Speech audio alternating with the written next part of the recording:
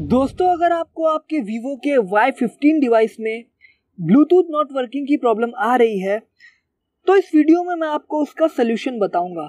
Hello friends अस्सलाम वालेकुम and welcome to टेक्सोर तो सबसे पहले चले जाना है आपको सेटिंग्स में।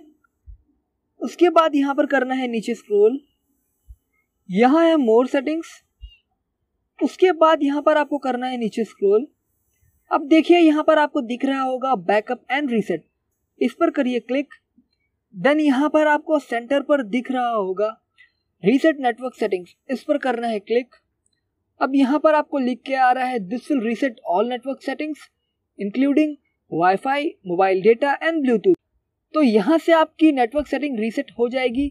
तो सिंपली यहाँ से रीसेट कर दीजिए बिना डरे। उसके बाद यहाँ पर डाल दीजिए पासवर्ड अपना ब्लैक आपको दिख रहा होगा। यहाँ पर आप रीसेट सेटिंग्स पे क्लिक कर दीजिए।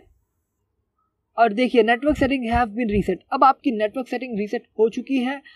अब आप यहाँ से अपने ब्लूटूथ में चले जाइए और कनेक्ट करिए। देखिए कनेक्ट हो रहा है या फिर नहीं।